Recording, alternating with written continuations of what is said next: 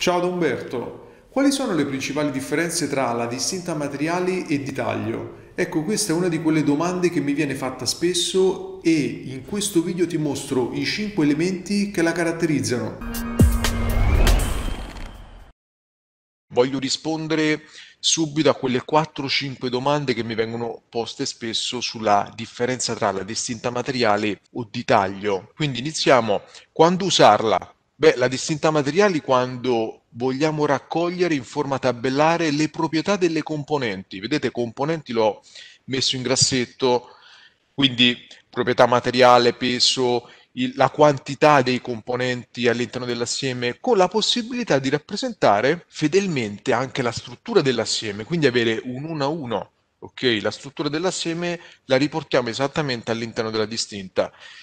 La distinta di taglio quando si devono raccogliere sempre in forma tabellare le proprietà dei corpi. Quindi questa è la differenza sostanziale. La distinta materiale lavora sui componenti, la distinta di taglio sui corpi.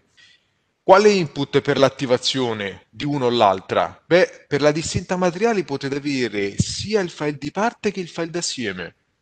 Ebbene sì, e poi vedremo perché nel file di parte posso attivare la distinta materiale nella distinta di taglio, o meglio per la distinta di taglio soltanto il file di parte. Si possono aggiungere proprietà personalizzate? Sì, su entrambe, e poi vedremo come. Si può compilare in ambiente disegno? Eh, questa è un'altra domanda importante a cui dobbiamo sapere rispondere. Allora, la distinta materiali sì, perché tutto ciò che riportiamo e andiamo ad inserire in ambiente di disegno e nella distinta materiali si ripercuote all'interno dei vari file di parte o di sottoassieme. È come se andassimo a popolare in automatico, quindi in maniera associativa, anche i file collegati. La stessa cosa non si può dire della, della distinta di taglio, perché la distinta di taglio, eh, a meno che non andiamo noi ad aggiungere delle righe personalizzate, non possiamo modificare il valore presente nella cella. Quindi questo che cosa significa? Che per la distinta materiali possiamo permetterci di lavorarla direttamente in ambiente di disegno, come si fa molto spesso. La distinta di taglio invece va lavorata nell'ambiente di parte. Poi quando si arriva nell'ambiente di disegno, come dire, ormai il gioco è fatto, va soltanto richiamata e posizionata. Possono coesistere nello stesso disegno?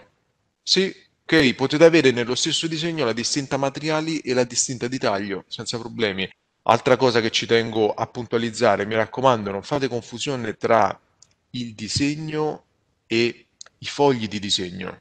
Il disegno è il file. All'interno del file di disegno potete avere n fogli. Ora, volendo approfondire ulteriormente, posso dire anche che all'interno dello stesso foglio del file di disegno possono coesistere la distinta materiale e la distinta di taglio.